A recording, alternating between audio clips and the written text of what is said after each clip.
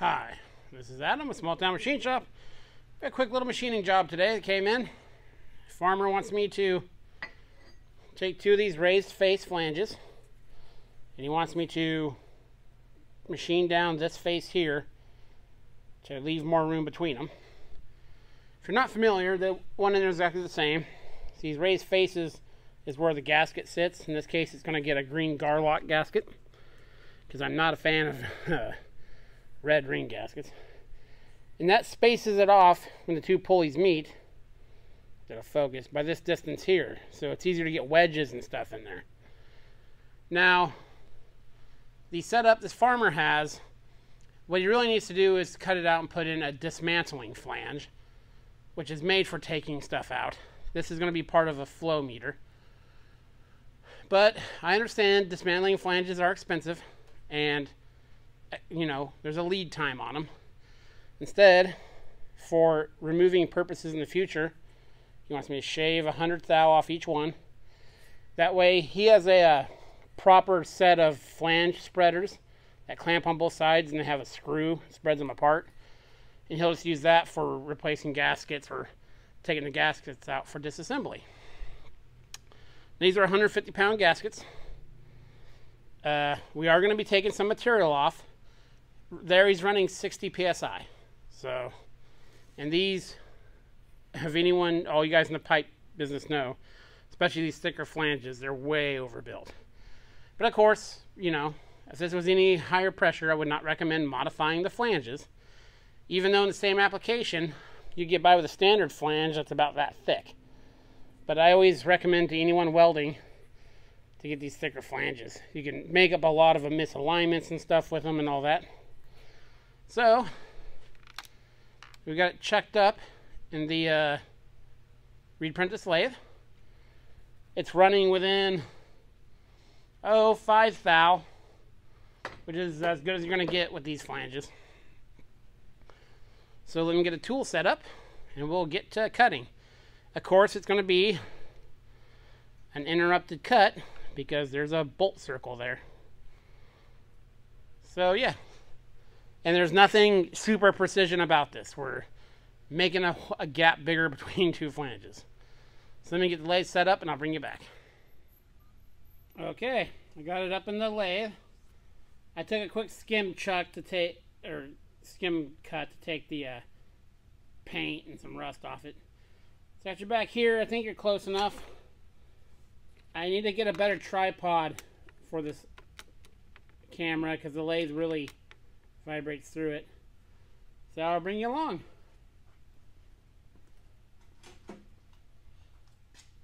Again, we're shooting for 800 thou. So, yeah. Lathe kick on here.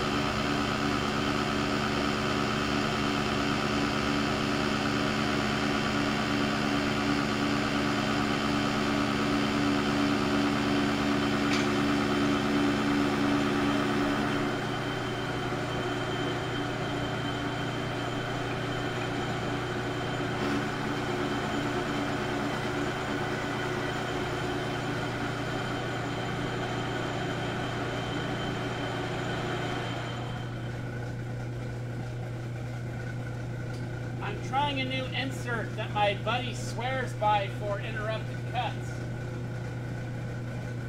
Got about 50 thou to go.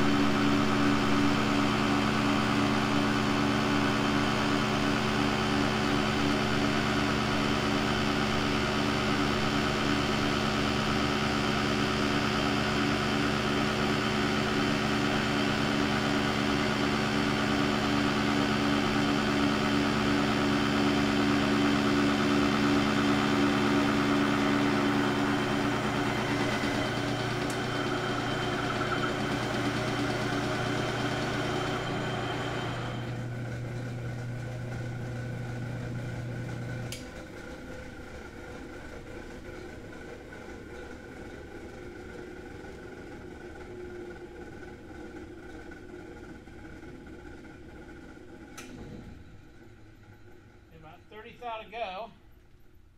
It's really nice.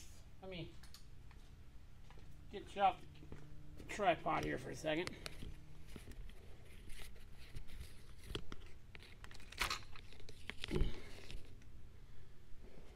Like I said, my machinist buddy.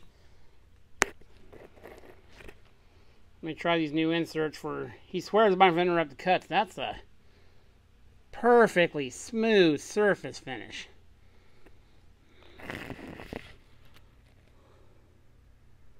Excellent surface finish. And it's making nice blue chips.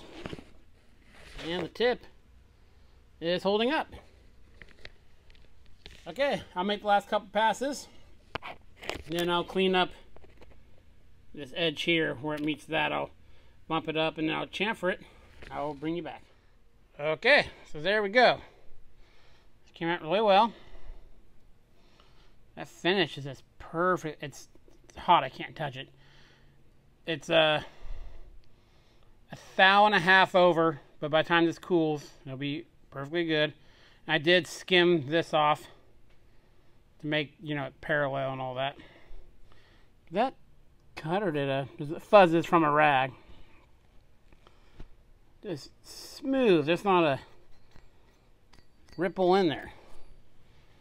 And the cutter held out that interrupted cut. So very cool.